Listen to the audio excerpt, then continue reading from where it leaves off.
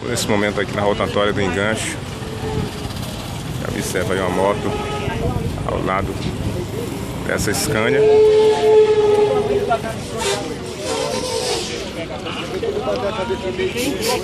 A vítima, o rapaz que estava na moto. Felizmente ali está bem. O motorista aqui no local. Esse de azul.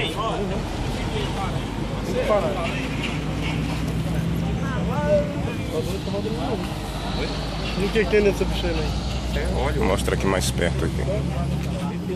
Macedo, eu acho, como não tenho visto